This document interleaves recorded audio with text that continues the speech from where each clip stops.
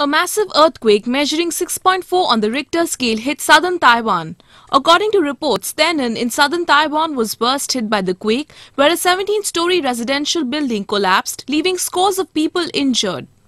The epicenter of the quake was located around 48 kilometers southeast of Tainan at a depth of around 10 kilometers, the US Geological Survey said.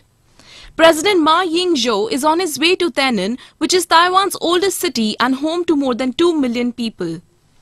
A powerful earthquake toppled a 17-story apartment building in Taiwan, killing at least two people, including a 10-year-old girl, and triggering frantic efforts to rescue dozens of people feared trapped in debris. The epicenter of the quake was located around 48 kilometers southeast of Taiwan. At a depth of around 10 kilometers, the US Geological Survey